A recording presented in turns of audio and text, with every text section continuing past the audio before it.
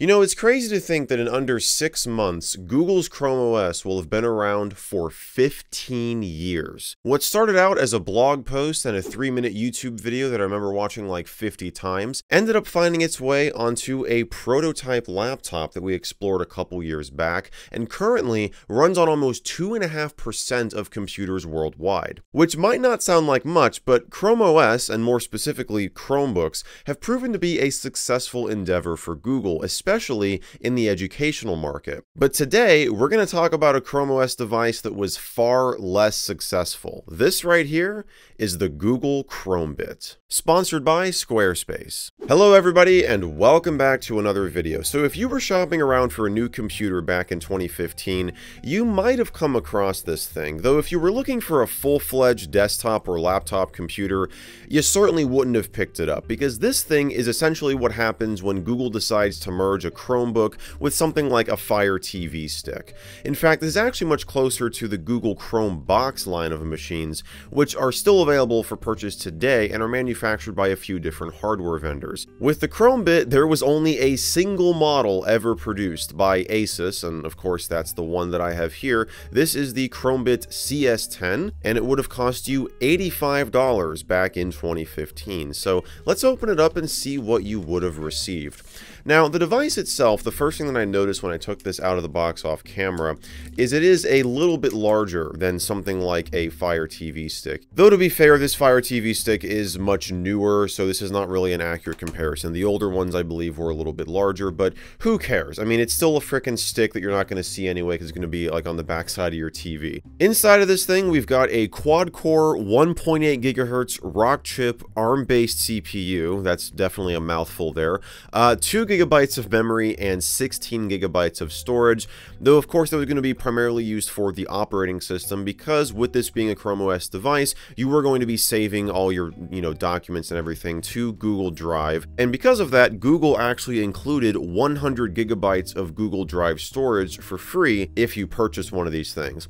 However, it was only for two years. That kind of sucks. So you did have to pay for Google Drive after that two years if you wanted to continue using that storage. You also got a few other things in the box. We'll just go ahead and flip this over and get it all out. So of course you have your power adapter and you have your, you know, manuals and regulatory info and all that lovely stuff. You also have a couple of foam pads that I suspect you could use to put on the back of the, I almost said Fire TV stick, on the back of the Chromebit so that it's not like rubbing against your TV and kind of like, you know, dangling back there and potentially scratching it. Notably, we are missing the HDMI extension cable. That was included so that, you know, if you had a TV with the HDMI ports just on the back, um, that would definitely be a problem because this thing would just be sticking out. Um, I do have this one here that came with the Fire TV stick that I have, which of course will work just fine on here because it's just an HDMI port. So, you know, you would have something like this on the back of your TV if you uh, needed to, to use this thing. So yeah, there you go. But HDMI is not the only port that we have on this thing because on the other side, we've got a full-size USB-A port that you could use to plug in a keyboard or mouse. Um, and you'd have to use obviously a USB hub if you didn't have one of those like uh, keyboards that has like the trackpad built in, which would have probably been ideal, especially if you're hooking this thing up to your TV in your living room. But it also has Bluetooth connectivity, so if you had a Bluetooth keyboard and mouse, you could just not even use the USB port at all. But yeah, that is everything you would have received. Let's go ahead and hook this thing up and uh, see what we can do with it in 2024. Alright, so we've got a relatively janky setup here. I've got the Chromebit plugged into my capture setup, and then I've got a USB hub plugged into the Chromebit here so that we can connect both a keyboard and mouse. And just like that, we're in. Okay, so it looks like this thing has been uh, reset to factory settings. Uh, I, I did purchase this used, by the way. If you couldn't already tell, there was no shrink wrap on the box.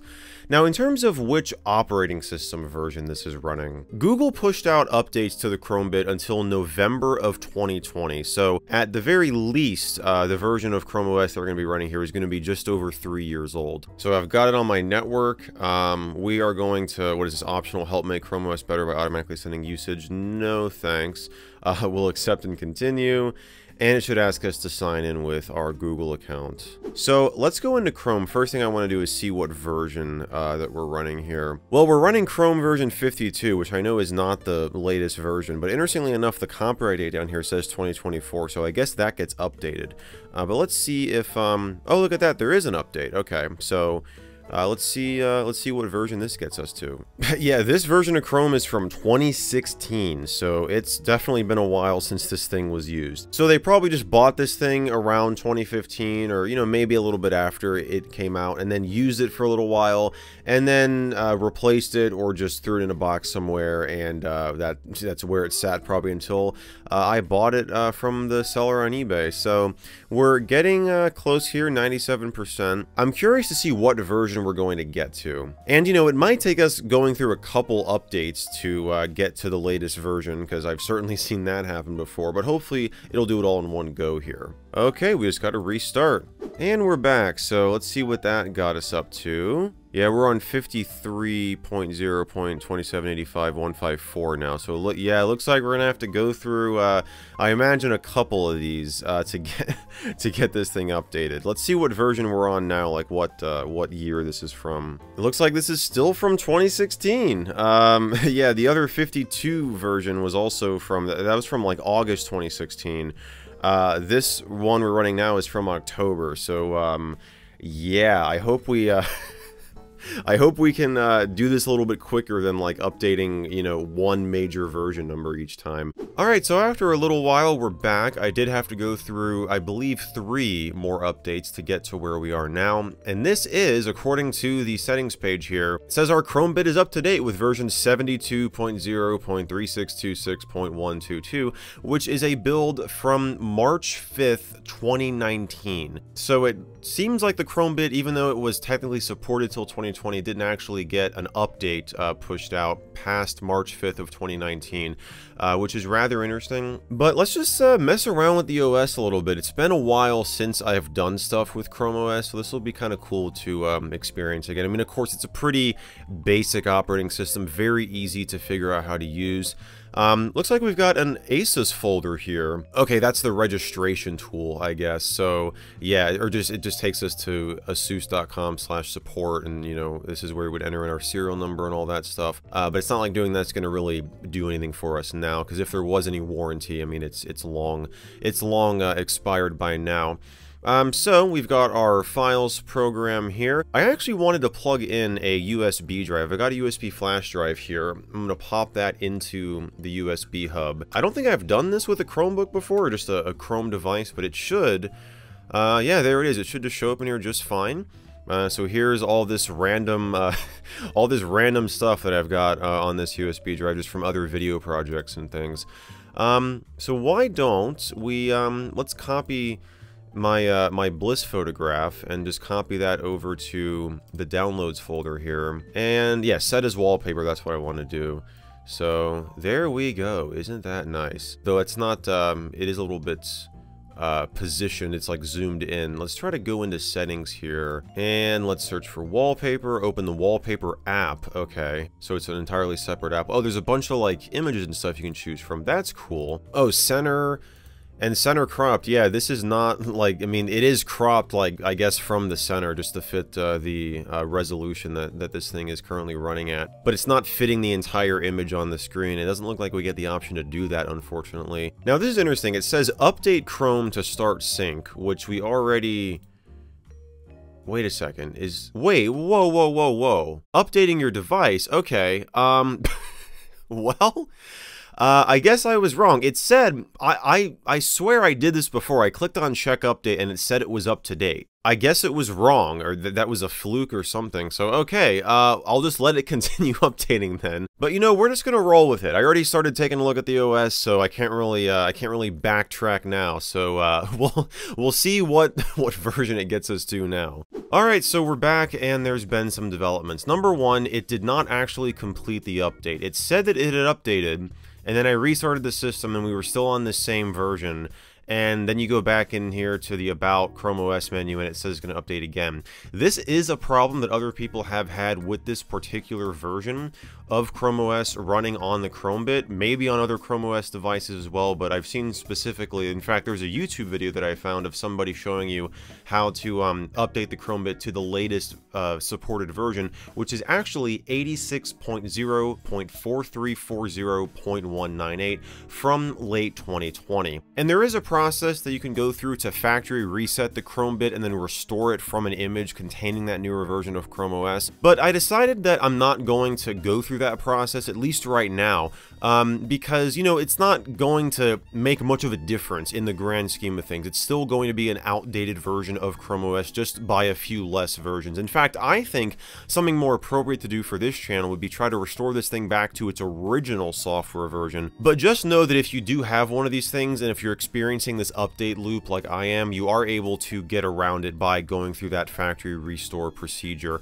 Um, so yeah, it's just, see, it just said it like installed the update, right? And then we hit check for updates again and it'll just say updating your device. One of the things I was definitely going to do though was uh, try to get access to the Linux terminal because that is something you can do from Chrome OS devices these days. But unfortunately, that is not supported with the Chromebit here. It's not one of the devices on the supported list over on that help page on Google's website. But maybe there's another video idea there, trying to get a, uh, a more traditional Linux distro on this thing. But yeah, honestly, there's not not really a whole lot to explore because of how web-based that Chrome OS is. I mean, you've got basically a bunch of shortcuts in here to websites. you've got the Chrome browser. Files is like a separate program, you know, where you can actually browse uh, the, the file system somewhat on your device.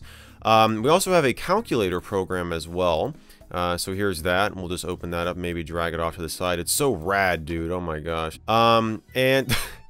Let's go back in here. Yeah, you got get help, settings we've been in, camera. Why is there a why is there a camera application? I mean, I guess if you want to plug in a USB webcam or something. But of course, we got YouTube, Google Play Books, Google Keep, Drive, uh, and then we got, you know, shortcuts to Sheets, Slides, and Docs individually, Gmail, uh, because, you know, of course, we have a text editor here.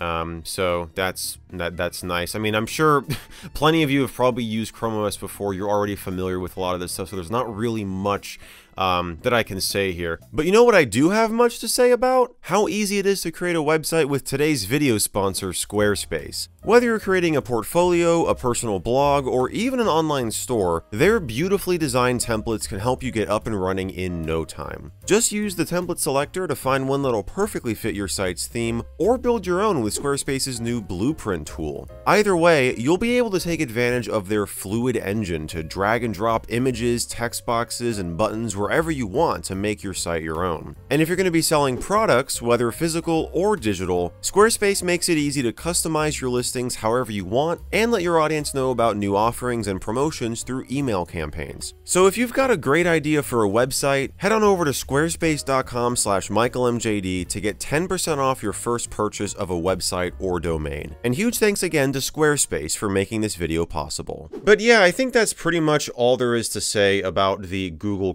Chromebit, uh, which is definitely, you know, one of the weirder Chrome OS devices to ever come out of Google, just because of like how specific of a use case you would need to have for this thing uh, to consider buying it. I mean, I would imagine for the average consumer, you know, who's in the market for a Chrome OS device, a Chromebook 9 times out of 10 is going to make the most sense. I mean, there's a reason why they're the most popular Chrome OS device category, but that's not to say this thing is entirely useless. I mean, I think if you had wanted to get a really easy to set up, pretty cheap computer uh, to maybe have out in your garage. Maybe if you want to make like a workbench computer and you had like a TV out there, you could hook this thing up. It doesn't take up a whole lot of space at all. You just plug a keyboard and mouse into it, plug it in, and you're good to go. Maybe you want like a little home theater PC just for browsing the web. This could absolutely do that for you. I think especially in the enterprise and business world too. I mean, this is a really easy way to convert like an older TV into a, you know, sort of smart TV. Maybe if you want to have one out in the lobby to run through a slideshow as people walk in or in a conference room to do presentations, this could absolutely do that as well. So it's definitely not useless, but it was useless enough for Google to quickly decide to kill it off after only having one of these things, one model ever produced. So yeah, uh, I hope you guys enjoyed this video. If you did, be sure to give it a thumbs up, get subscribed, all that good stuff. And if you really enjoyed this video and want to get early access to my future episodes, I do have a Patreon you could check out, or you could hit that join button to become a channel member. But either way, I want to thank you all so much for watching, and I will see you in the next video.